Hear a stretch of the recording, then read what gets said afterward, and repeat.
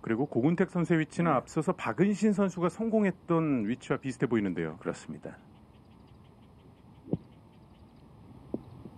고군택 네, 잘했어요. 와 들어가지만 않았을 뿐이지 방향과 거리감 모두 다 좋았습니다.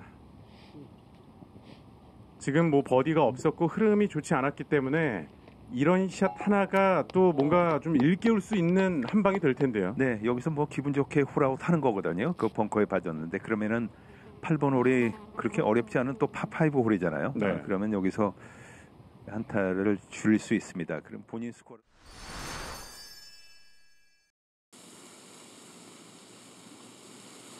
거리감이 중요한 위치인데요. 40m.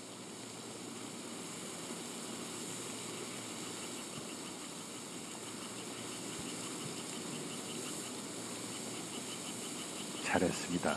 네. 이제 기회가 왔네요. 그렇습니다. 이제 파5에서 이제 버디가 하나 나와야 되겠죠. 그렇죠. 네. 어쨌든 뭐 이번 홀에서 버디를 기록한다면 8개 홀에서 출발할 때 스코어로 회복을 하는 거거든요. 그렇습니다. 그리고 어, 9번 홀은 뭐 바로 넘어가게 되면 되고요. 그 10번, 11번 이제 연속 어려운 홀이 back nine에서 처음 두 개 홀이 좀 있습니다만 전체적으로 이제 본인 스코어로 돌아오게 되니까 네. 어, 그러면 조금 더 전반 나인홀보다는 안정적인 경기를 할 수 있을 겁니다.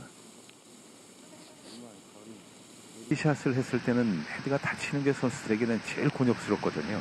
오히려 좀 열리는 게 볼이 잘 쓰고 그래도 멀리 가지는 않, 않는데 고근택 됐습니다. 네, 들어옵니다. 네.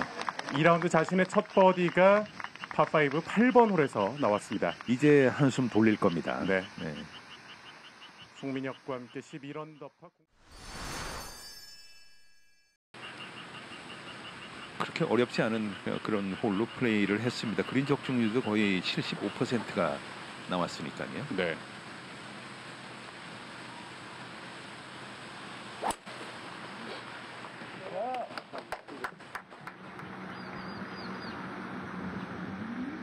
드라이버를 잡지 않았고요.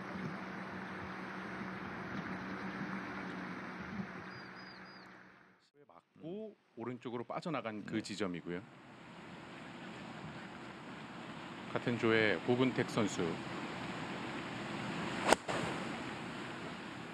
두 번째 샷. 잘 쳤네요. 오, 좋습니다. 자, 8번 홀에서 버디를 하면서 이제 본인의 스코어로 돌아오니까 어, 다음 홀에서 또 좋은 플레이가 나왔습니다. 이제 그 흐름을 계속 이어갈 수 있는 홀들도 기다리고 있고 그렇죠. 반대로 고근택 선수는 이제 단독 1위로 올라설 수 있는 기회인데요. 어제 이런 거리 putt들이 다 떨어졌던 고군택인데 버디 펫. 네, 들어갑니다. 버디 putt은 참 아까도 말씀드렸다시피 중요한 버디입니다. 네, 두 홀 연속 버디 네. 12언더파 단독 1위로 올라섭니다. 자칫 여기서 이게 버디가 연결이 안 되면은 어제 스코어를 지키기에 급급했던 그런 플레이가 오늘 나올 수 있는데 back nine에서 이제 이게 버디로 연결이 되면은 오히려 타수를 더 줄일 수도 있거든요. 그렇죠. 12 어, 여기 한 세 개 홀에서 타수를 좀 줄여야 됩니다. 9번 홀에 내리막 홀을 지나면 10번 홀 다시 오르막 홀이 시작되는데요. 네, 오르막에 저 그린 보고 이제 티샷을 하면은 페어웨이 중앙으로 잘 보낼 수 있는데요. 네, 좋습니다. 잘 나왔네요.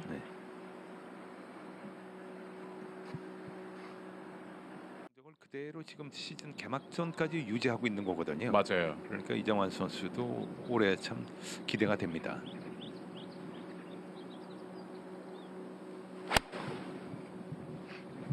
고근택의 세컨샷.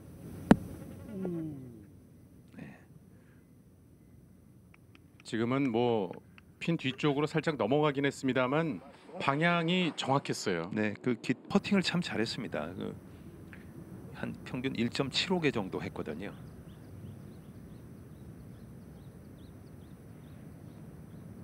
10번 홀에 고군택 선수예요.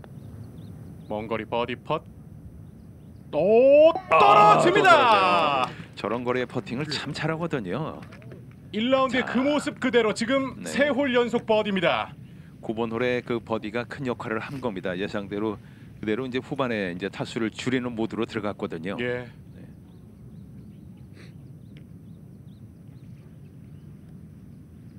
표정은 많이 덤덤하네요.